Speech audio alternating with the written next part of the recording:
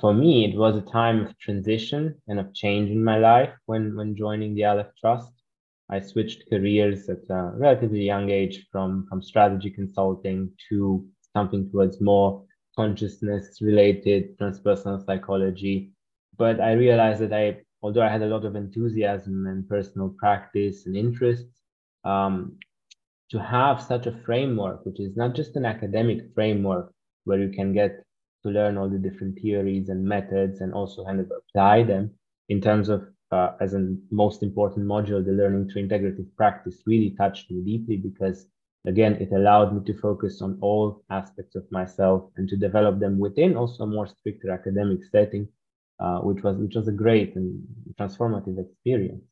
And besides the, the academic part there's also the community because I don't know how you feel, but when I felt when I started this journey, uh, I, I did know some people here and there, but not all that many who are into these things and who like to approach uh, life more more holistically. Um, yet also uh, academically grounded, and it also provided a global community. And talking about friendships with with some of them, I mean Audrey's here uh, with her and two other um, of our um, colleagues. We do still do regular meetups uh, every every few months. And it all started as a, meeting for a project together on, the MSc, not knowing each other before.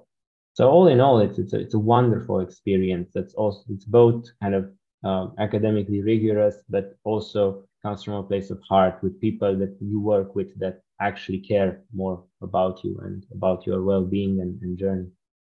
So yeah, that's that's it in a nutshell from